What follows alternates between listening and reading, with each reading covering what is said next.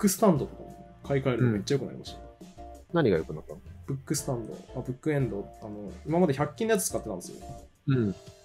あの、こう L 字ああ、のや普通にこう、何にもない平面に置くやつを止める本のそうそうブック。つ。そう、このブック、ブックエンドみたいなやつ。これを100均のやつ2個買って、うんその僕本本をまず今全然持ってないので電子書籍しか買わないんですよ。だからその参考書とかなんですよね、要は。うんあの PC のソフトの参考書とか、プログラミングの参考書とか。でそういうものをデスクの上にガッて置いといて、さって取りたいうん。から本棚じゃなくてブックエンドがいいんですよ。うん。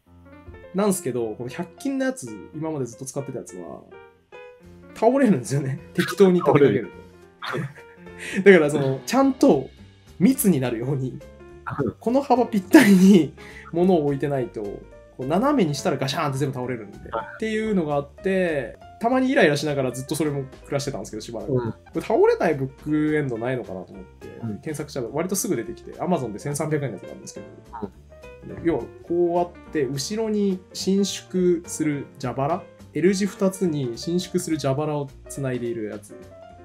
があってその横幅調整できますよっていう、うん。これはそのこれ自体に硬さがあるのでうん。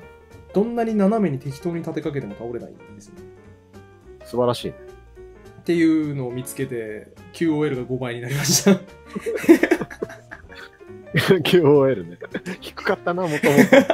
普段使うもの、特に24時間でよく触れてるものは、お金出すにの値するよね。本当ですねなんかやっぱ全部見直さないとダメだなと思います多分椅子とかに長時間座ってない椅子もそうだしさ、うんスマホもすっごい触ってるから、うんスマホに投資するのは別に悪くないのかなってうん、間違いない。今間違いないです。